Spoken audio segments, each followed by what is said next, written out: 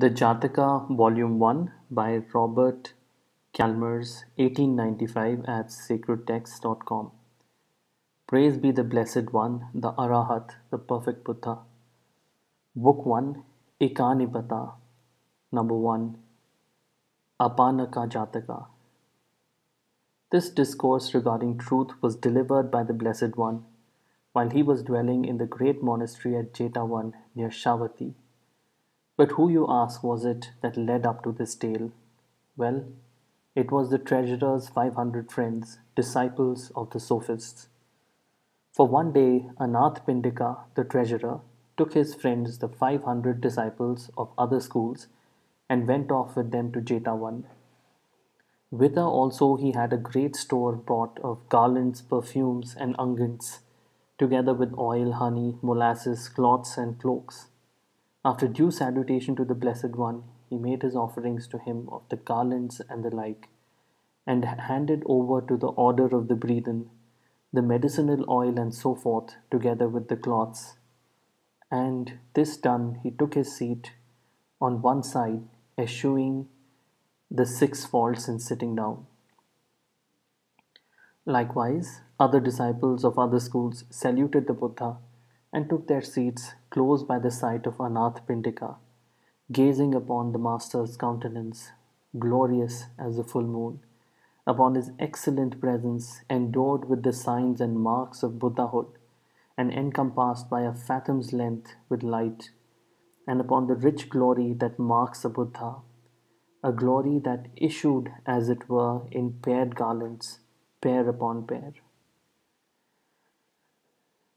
Then, though in thunderous tones, as of a young lion roaring in the Red Valley, or as of a storm cloud in the rainy season, bringing down, as it were, the Ganges of the heaven, and seeming to weave a chaplet of jewels, yet in a voice of eightfold perfection, the charm of which ravished the ear, he preached to them the truth in a discourse full of sweetness and bright with varied beauty.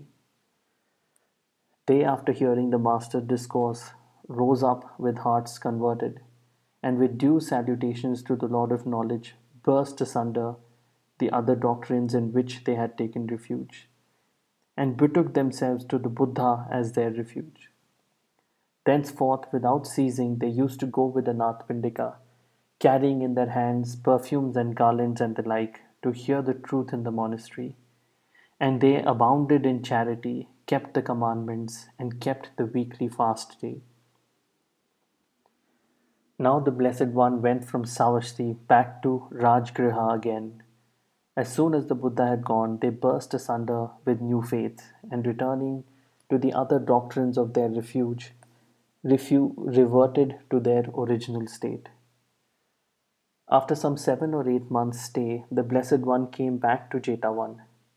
Once again, too, did Anathapindika come with those friends of his to the Master, making his salutation and offering of perfumes and the like, and take his seat on one side. And the friends also saluted the Blessed One and took their seats in like manner. Then did Anathapindika tell the Blessed One how, when the Buddha departed from his alms on his alms pilgrimage, his friends had forsaken their refuge for the old doctrines again and had reverted to their original state. Opening the lotus of his mouth as though it were a casket of jewels, scented with scents divine and filled with diverse, perfu- di- divers perfumes by virtue of his having ever spoken aright throughout myriad eons, the Blessed One made his sweet voice come forth as he inquired, Is it true that you disciples have forsaken the three refuge for the refuge of other doctrines? And when they, unable to conceal the fact, had confessed, saying, It is true, Blessed One, then the Master, then said the Master, Disciples, not between the bounds of hell below and the highest heaven above, not in all the infinite worlds that stretch right and left, is there the equal, much less the superior, of a Buddha in the excellences which spring from obeying the commandments and from other virtuous conduct. Then he declared to them the excellences of the three gems as they are revealed in the sacred texts. The following amongst the number of all creatures in, whether f- footless, of these the Buddha is the chief. Buddha means a, a person embodying wisdom. It doesn't refer to a person or a character, by the way. Whatsoever riches there be in this or in the other worlds, and verily the chief of the faithful. Thence he went on to say, No disciples, male or female, who seek refuge in the three gems that are endowed with such peerless excellence are ever reborn into hell and the like states. But released from all the births into states of suffering, they pass to the realm of Devas and there receive great glory. Therefore, in the forsaking of such a refuge, for that offered by other doctrines, you have gone astray. And here the sacred text should be cited to make it clear that none who, to find release and the supreme good, have sought the refuge in the three gems shall be reborn into the states of suffering. Those who take refuge in the Buddha found shall not part thence to states of suffering. Straightway they shall quit their human frame, a deva form those faithful ones shall fill. Those who have refuge in the doctrine found, those who have refuge in order found, there manifold the refuges men seek the mountain peak, the forest solitude. When he this refuge shall have sought and found, entire release in his from every pain. But the Master did not end his teaching to them at this point, for he went on to say, Disciples, meditation on the thought of the Buddha, meditation on the thought of the truth, meditation on the thought of the brotherhood. This, this it is that gives entry to the fruition of the first, the second, the third, and the fourth paths to bliss. And then he had preached the truth to them in these and other ways, he said, In forsaking such a refuge as this, you have gone astray. And here the gift of several paths to those who meditate on the thought of the Buddha and so forth should be made clear by such scriptures as the following. One thing there is breathing, which, if practiced and develops, conduces to utter loathing of the world's vanities, to the cessation of passion, to the end of being, to peace, to insight, to enlightenment, to nirvana. What is this one thing? The meditation on the thought of the Buddha. When he had thus exhorted the disciples, the Blessed One said, So too in times past, disciples, the men who jumped to the fatuous conclusion that there was no refuge was a what was no refuge was a real refuge fell prey to goblins in a demon haunted wilderness and were utterly destroyed whilst the men who clave to the absolute and indisputable truth prospered in the self-same wilderness. And when he had said this, he became silent. Then, rising up from his seat and saluting the Blessed One, the layman Anathapindika broke into praises and, with clasped hands raised in reverence to his forehead, spoke thus It is clear to us, sir, that in these present days these disciples were led by error into forsaking the supreme refuge. But the bygone destruction of those op- opinionated ones in the demon haunted wilderness and the prospering of men who clave to the truth are hidden from us and known only to you. May it be pleased the Blessed One, as though causing the full moon to rise in the sky, to make this thing clear to us. Then said the Blessed One, It is solely to brush away the world's difficulties that by the display of the ten perfections through myriad aeons I won omniscience. Give ear and hearken as closely as if you were filling a tube of gold with lion's marrow. Having thus excited the treasurer's attention, he made clear that the thing that rebirth had concealed from them, as though he were releasing the full moon from the upper air and the birthplace of the snows. Once upon a time, in the city of Benares, in the Ka- Kasi country, there was a king named Brahmadatta. In those days, Bodhisattva was born into a merchant's family, and growing up in due course, used to journey about trading with 500 carts, traveling now from the east to the west and now from the west to the east. There was also at Benares another young merchant, a stupid blockhead, lacking resource. Now, at the time of our story, the Bodhisatta had folded 500 carts with costly wares of Benares and had gotten them all ready to start. And so had the foolish young merchant too, thought the Bodhisatta. If this foolish young merchant keeps me company all along, and the thousand carts travel along together, it will be too much for the road. It will be a hard matter to get wood, water, and so forth for the men, or grass for the oxen. I thought he or I must go first. So he sent for the other and laid his views before him, saying, The two of us can't travel together. Would you rather go first or last? Thought the other, There will be many advantages if I go first. I shall have a road which is not yet cut up. My oxen will have the pick of the grass. My men will have the pick of the herbs for curry. The water will be undisturbed, and lastly, I shall fix my own price for the barter of my goods. Accordingly, he replied, I will go first, my dear sir. The Bodhisattva, on the other hand, saw many advantages in going last, for he argued thus to himself Those who go first will level the road where it is rough, while I shall travel along the road they shall already have travelled. Their oxen will have grazed off the coarse old grass, while mine will pasture on the sweet young growth that will spring up in its place. My men will find a fresh growth of sweet herbs for curries, where the old ones have been picked.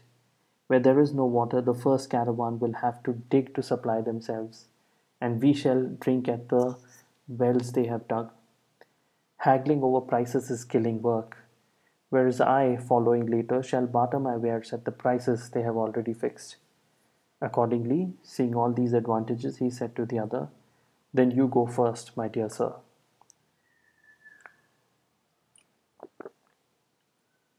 Very well, I will, said the young, said the foolish merchant. And he yoked his cart and set out, journeying along. He left human habitations behind him and came to the outskirts of the wilderness. Now, wildernesses are of five following kinds robber wilderness, wild beast wilderness, drought wilderness, demon wilderness, and famine wilderness.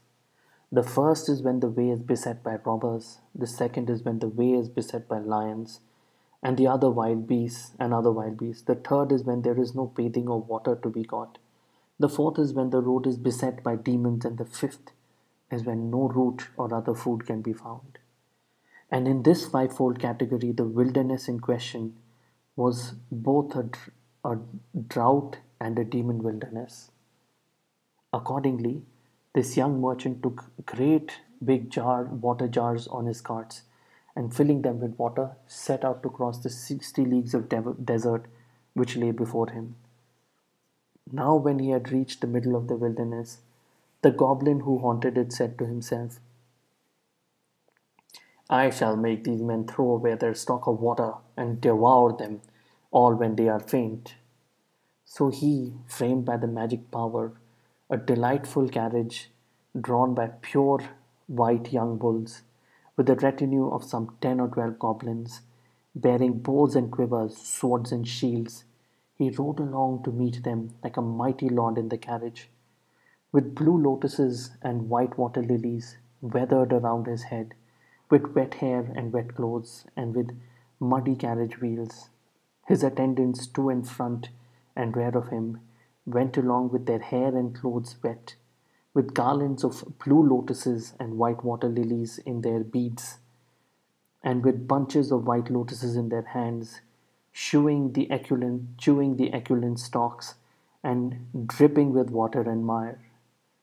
Now, the leaders of the caravan have the following custom whenever the wind blows in their teeth, they ride on in the front of the carriage with their attendants around them in order to escape the dust. And when the wind blows from behind them, they ride in like fashion in the rear of the column. And as on this occasion the wind was blowing against them, the young merchant was riding in front. When the goblin became aware of the merchant's approach, he drew his carriage alongside from the track and greeted him kindly, asking him whither he was going. The leader of the caravan, too, paused his carriage to be drawn aside from the track so as to let the carts pass by, whilst he stayed by the way and thus addressed the goblin. We are just on our way from Benares, sir, but I observe that you have lotuses and water lilies on your heads and in your hands, and that your people are, are eschewing this esculent, think, succulent stalks, and that you are all muddy and dripping with wet. Pray, did it rain while you were on the road, and did you come on the pools covered with lotuses and water lilies? Herein the goblin explained, What did you say? Why? Yonder appears the dark green streak of the forest, and thence onward there is nothing but water all through the forest. It is always raining there, the pools are full, and on every side are lakes covered with lotuses and water lilies. Then, as the line of carts passed by, he asked where they were bound for. To such and such place, was the reply. And what wares have you got in this cart and in this? So and so. And what might you have in this last cart, which seems to move as if it were heavily laden? Oh, there's water in that. You did well to carry water with you from the other side, but there is no need for it now, as water is abundant on ahead. So break the jars, throw away the water, and you may travel easier. And he asked, Now continue on your way, as we have stopped too long already. Then he went a little further on till he was out of sight. Then he made his way back to the goblin city where he dwelt. Such was the folly of the foolish merchant that he did the goblin's bidding, and had his jars broken and the water all thrown away, without saying so much even as would go in the palm of a man's hand. Then he ordered the carts to drive by. Not a drop of water did they find on. Ahead uh, did they find on ahead, and thirsty, exhausted, the men. All day long, still the sun went down, they kept on the march. But at sunset, they unyoked their carts and made a laager, tethering their oxen to the wheels. The oxen had no water to drink, and the men none to cook their rice with. And the tired out bands sank to the ground to slumber. But as soon as night fell, the goblins came out from their city and slew every single one of those men and oxen. And when they had devoured their flesh, leaving only bare bones, the goblins departed. Thus was the foolish young merchant the sole cause of the destruction of the whole band, whose skeletons were strewn in every conceivable direction, whilst the five hundred carts stood there with their loads untouched. Now the Bodhisatta allowed some six weeks to pass by after the starting of the foolish young merchant, before he set out. Then he proceeded from the city with his five hundred carts, and in due course came to the outskirts of the wilderness. Here he had his water jars filled and laid in an ample stock of water, and by beat of drum he had his men assembled in camp, and thus addressed them.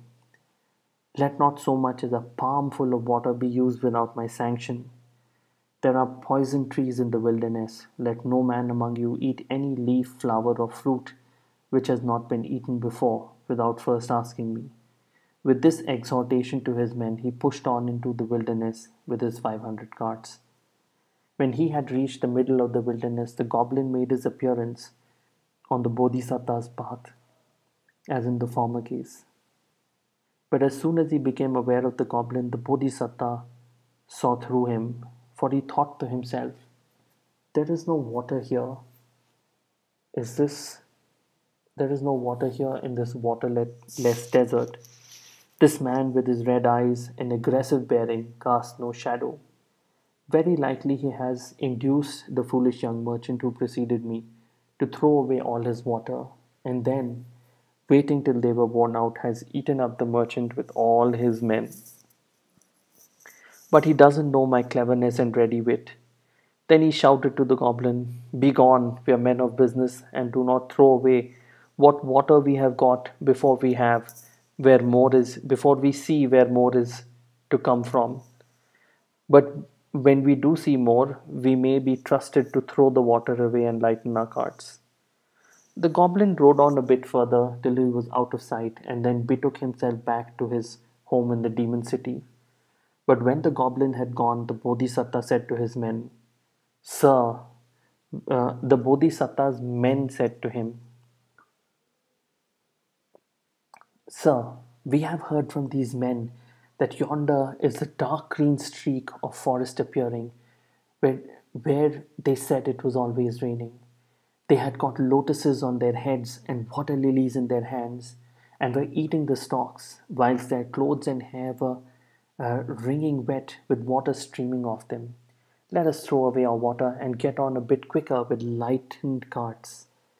On hearing these words, the Bodhisatta ordered a halt and had the men all mustered. Tell me, he said, did any man among you ever bear here before today that there was a lake or a pool in this wilderness? No, sir, was the answer. Why it's known as why it's known as the will uh, as the waterless desert. We have been told by some people that it is raining just on ahead in the belt of the forest. Now, how far does a rain wind carry? A league, sir. And has this rain wind reached any man here? No, sir. How far off can you see the crest of a cloud storm, of a storm cloud? A league, sir. And has any one man here seen the top of even a single storm cloud? No, sir. How far off can you see a flash of lightning? Four or five leagues, sir. And has any man here seen a flash of lightning? No, sir. How far off can a man hear a peal of thunder? Two or three leagues, sir. And has any man here heard a peal of thunder? No, sir. These are not men but goblins. They will return in the hope of devouring us when they are weak, when we are weak and faint after throwing away our water in that building. And the young merchant who went on before us was not a man of recourse, but likely he has been fooled and thrown, uh, th- throwing his water away, and has been devoured when exhaustion eschewed, ensued. We may expect to find his 500 carts standing just as they were loaded for the start. We shall come on them today. Press on with all possible speed without throwing a drop of water. Urging his men forward with these words, he proceeded on his way till he came upon the 500 carts standing just as they had been loaded, and the skeletons of the men and oxen lying strewn in every direction. He had his cart unyoked and ranged in the circle so as to form a strong laager. He saw that his men and oxen had their supper early and that the oxen were made to lie down in the middle with the men around them. And he himself, with the leading men of his band, stood on guard, sword in hand, through the three watches of the night, waiting for the day to dawn. On the morrow at daybreak, when he had had his oxen fed and everything needful done, he discarded his own weak carts for stronger ones, and his own common goods for the most costly of the derelict goods. Then he went on to his destination, where he bartered his stock for wares of twice or thrice their value, and came back to his own city without losing a single man out of his company. This story ended, the master said. Thus it was laymen that in the times past the fatuous came to utter destruction, whilst those who cleave to the truth, escaping from the demon's hands, reached their goal in safety and came back to their homes again. And when he had thus linked the two stories together, he, as the Buddha spoke, the following stanza for the purpose of, the, of this lesson on the truth.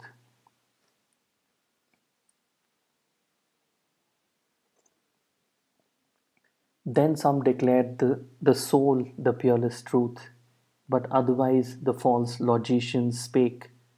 Let him that's wise from this a lesson take, and firmly grasp the soul the peerless truth. Thus did the Blessed One teach this lesson respecting truth. And he went on to say, What is called walking by truth not only bestows the three happy endowments, the six heavens of the realms of sense, and the endowments of the higher realm of Brahma, but finally is the giver of uh, arhantship. Whilst what is called walking by untruth entails rebirth in the four states of punishment or in the lowest castes of mankind. Here, caste, I don't, it may refer to the caste system, uh, but uh, uh, by the writer, but I think uh, caste really means a mindset uh, I would not be sharing this story if I uh, thought of castes in any other way. So we have different kind of mindsets oriented to different kinds of lessons that people have to learn. Mm-hmm. And I think that is what is men- mentioned here. Further, the master went on to expound in 16 ways the four truths, at the close of which all of these 500 disciples were established in the fruit of the first path. Having delivered his lesson um, and his teaching, and having told the two stories and established the connection, linking them, the master concluded by identifying the birth as follows Devdutt was the foolish young merchant of those days, and his followers were the followers of that merchant. And the followers of the Buddha were the followers of the wise merchant who was myself. So, uh, this is uh, this is the first Jataka tale. Uh, thank you very much for listening. Uh, some footnotes here uh, that the triple gem and the doctrine is not like you need to convert yourself into uh, any kind of order or religion. It was really three principles that were shared. I don't know if I understand them completely, but this is what I understand. So, the triple gem.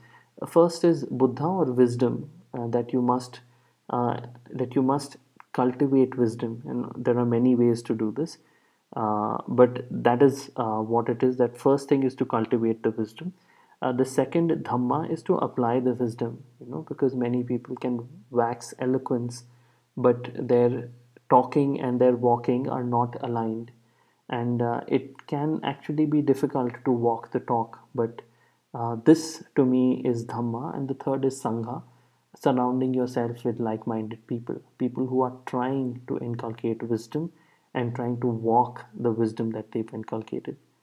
Um, yeah, that's it. And uh, now there are some questions from this, uh, uh, which I would like to present as a case study for people. So, in your life, uh, where have you made decisions without verifying the facts? You may have noticed that the Bodhisattva asked very specific questions. How far can you see a peal of thunder? And uh, has anyone uh, can you hear a peal of thunder and has anyone heard it?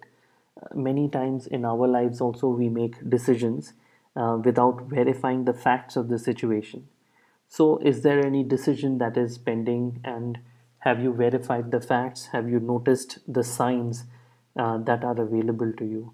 Uh, if you have you can share in the comments below. Thank you